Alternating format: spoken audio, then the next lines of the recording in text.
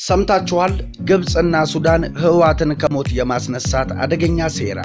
ሰላም ጤና ይስጥልን። ይህ ሰሞነኛ ሰምታችኋል ነው። በቅድሚያ የከበረ ሰላምታ በያላችሁበት ይድረሳችሁ። ሰሞኑን በግልጽ የታዩ ነገር ግን ከጀርባቸው ከባድ መልእክቶች የያዙ ክንውኖች ታዝበናል። በትግራይ ክልል መንግስት ህግን ማስከበር ያለው ህወሓትን የማስወገድ ዘመቻ ተጠናቆ ክልሉን እንደገና ወደ ማዋቀር፣ የአየር ክልሉን የመክፈት፣ መሰረታዊ አገልግሎቶችን የማስቀጠል ስራዎች ተከናውነዋል።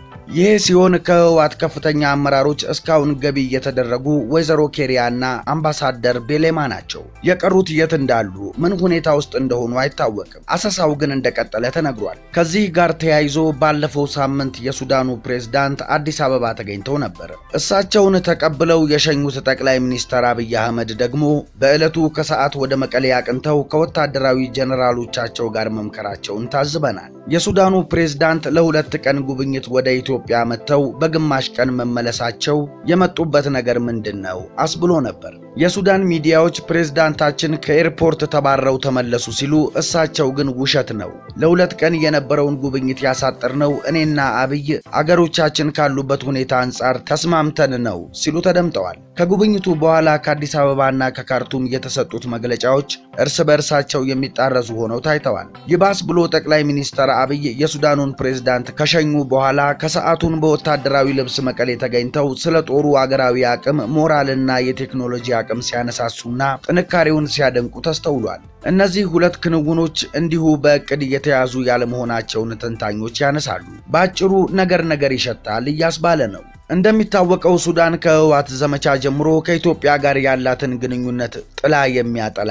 እንዴት ድፍረቱን አገኙት ያስባሉ እርምጃዎችን ስትወስድ መለስ ቀለስ ስትል ታይታለች። የግድቡን ድርድር ቁርጥ ያለ ስምምነት ካልተፈረመ ሁለተኛው የውሃ ሙሌት ሞቼ ነው ቆሜ አይደረግም ከማለት አነስታ በሱዳንና ኢትዮጵያ ለብዙ ዓመታት ይገባኛል በሚያወዛግበው የድንበር መሬት ወደ ኢትዮጵያ ጦሯን አዝምታ አካባቢውን ተቆጣጥራ ምሽግ እስከ መገንባት ደርሳለች ተብሏል። ሌላ ጊዜ እንኳን እንዲህ ልትዳፈር በግብፅና ኢትዮጵያ መሃል አቋም መያዝ አቅቷት ሳንዱች የሆነች ይህች ትንሽ ገና በእግሯ መቆም ያልቻለች ሀገር አሁን ልቧን ያሳበጠው ምንድን ነው ሲሉ የውስጥ አዋቂዎች አንዳንድ መረጃዎችን እያወጡ ነው። ሱዳንና ግብፅ የተናበበ የጦር ልምምድም ከመግለጫ አልፎ መከላከያን የሚያዘምት ነበር። ሆኖም የኢትዮጵያ መንግስት በውስጥ ጦርነቱ ተወጥሮ ስለነበር ዝምታን መርጧል። ሰሞኑን ወደ አዲስ አበባ መጥተው የነበሩት የሱዳኑ ፕሬዝዳንት እግራቸውን ያነሱበት ድብቅ አጀንዳው ግን ንፋስ እንደገለጠው አቧራ ከስር ያለው እውነት እየታየ ነው። እንደ ጋዜጠኛ ታምራት ነገራ የመሰሉ የፖለቲካ ተንታኞች ጉዳዩን ከሞተው ህወሓት ጋር አያይዘውታል። ከሱዳን ባለፈ ግብፅ ያለቻትን ህወሓትን ከመቃብር የማንሳት ሴራ መጠንሰሱንና እሱን እንደ መደራደሪያ ማስገደጃ ለመጠቀም እየሞከሩ እንደሆነ ተደርሶበታል። እንዴት ካላችሁ መልስ አለን። እንደሚታወቀው ህወሓት ለሞቱ ያበቃው አንዱ የተሳሳተው የጦርነት እቅዱ የሱዳን በር እንደማይዘጋበት እርግጠኛ ሆኖ የመጀመሪያውን ጥይት መተኮሱ ነበር። ሱዳንና ህወሓት ከትግል ጊዜ አንስቶ እጅግ የጠበቀ ትስስር የነበራቸው ናቸው። የካርቱም መንግስት ከባድ የህወሓት ውለታ ያለበት ነበር። አሁን ላይመለስ የተሰናበትነው የግንቦት ሀያ በዓል በመጣ ቁጥር የሱዳን ጀነራሎች ለበዓሉ መቀሌ ሲከሰቱ የነበረው ያውም ከለውጡ በኋላ የዚህ ትስስር ታሪካቸው ማንጸባረቂያ ነበር። ህወሓት የደርግን ያህል ግዙፍ ሰራዊት ድምጥማጡን እንዳያጠፋው አንዱ ፈታኝ የነበረው ምክንያት ሱዳን ነበረች። ህወሓት ከስልጠና ጀምሮ እስከ ታጋይ ምልመላ ማደራጀትም አልፈው ገባ ወጣ እያለ የደፈጣ ጥቃት በማድረግ ደርግ ላይ ኪሳራ ሲያደርስ እንደ ልቡ ሲሆን የነበረው ከሱዳን የስደተኛ ካምፖች ከድንበር አካባቢው መሬት እየተነሳ ነበር። ታዲያ ያንን የቀድሞ ጥብቅ ግንኙነትና ድጋፍ በማጣቱ የሱዳን ድንበር በመዘጋቱ ለህወሓት የጦር እቅድ መክሸፍና ሽንፈቱ አንዱ ምክንያት ነበር። አሁን ያለው የሱዳን መንግስት በተለይም ጠቅላይ ሚኒስትር አብይ ለሽግግር ሂደቱ የማስማማት ስራ ከመስራት ቸው አንጻር ለሳቸው የቀረበ ሆኖ ቆይቷል። ተባብሮም ድንበር ህወሓት ላይ ዘግቷል። ለማመስገን ግን አንቸኩል። በፖለቲካ የምንጊዜም ወዳጅ ሆነ ጠላት የለም። ስትራቴጂክ ጥቅም እስከተገኘበት ድረስ መገለባበጥ ያለ ነው። አሁን ሱዳን በተግባር መገለባበጧን እያሳየች ነው። የሰሞኑ የሱዳኑ ፕሬዝዳንት አዲስ አበባ መገኘት ህወሓትንና መንግስትን ለማደራደር ነበር። እንዴት የሞተ የተቀበረ ህወሓት የትኛውን አካሉን ይዞ ይደራደራል ካላችሁ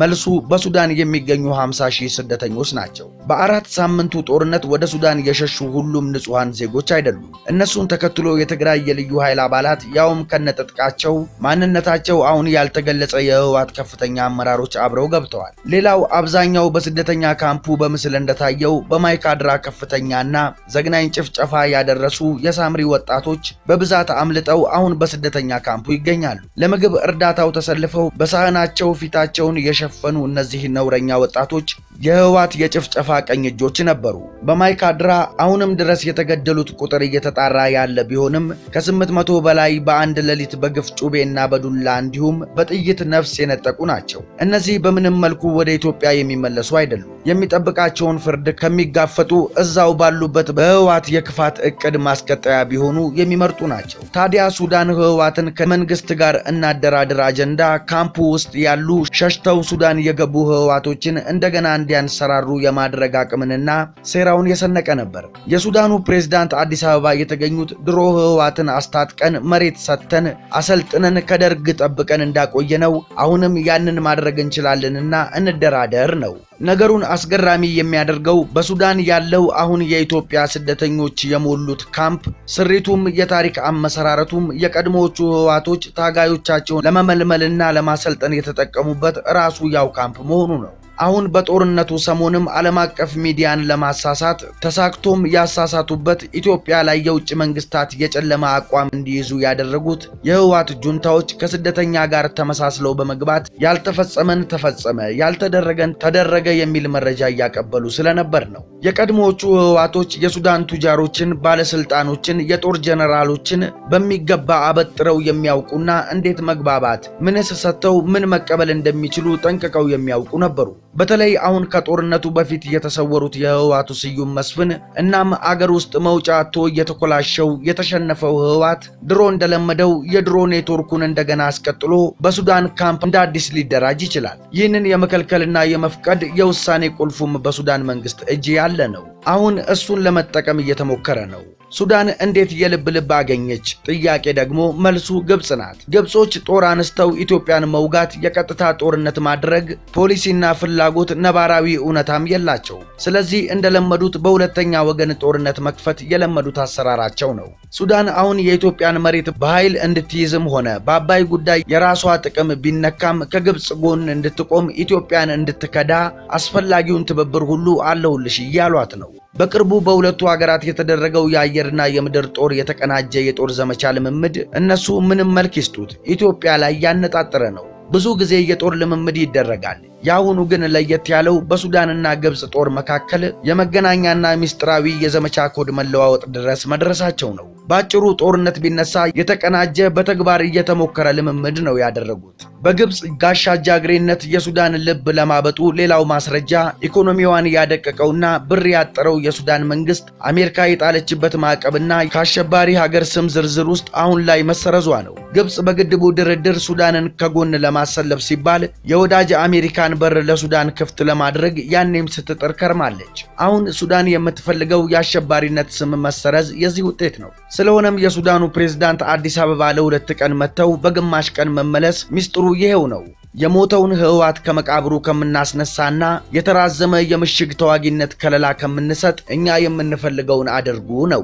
በዚህ ክህደት ያልተደሰቱት ጠቅላይ ሚኒስትር አብይ የሱዳኑን ፕሬዝዳንት ሸኝተው ከሰዓቱን መቀሌ ከድል አድራጊው ጦርና አመራሩ ጋር መታየታቸው መልእክቱ ለሱዳንና ግብፅ የህወሓት ሞት አስነሽነት ሴራ ማስጠንቀቂያ እንደሆነ ይታመናል። ጠቅላይ ሚኒስትር አብይ በአስደናቂ ጀብድ በሶስት ሳምንት ያጠፉት ህወሓት ዘመቻውን ያሳካውን የአገሪቱን ጦርና ከፍተኛ ጀነራሎችን ያመሰገኑበት ከብልጽግና ፓርቲ በላይ ለሀገር የቆመ ሰራዊት መሆኑን ያረጋገጡበት በለውጥና በመዋቅር ስራ የኢትዮጵያዊነት አቋምና ሞራል መከላከያና ሰራዊቱ መፍጠሩን በግልጽ መቀሌ በመገኘት ያነሱበት ምክንያት ሱዳንና ግብፅን ሞክሩንና ማንን እንደምንልክባችሁ ተመልከቱ መልእክት እንደሆነ ብዙ ተንታኞች የሚስማሙበት ነው።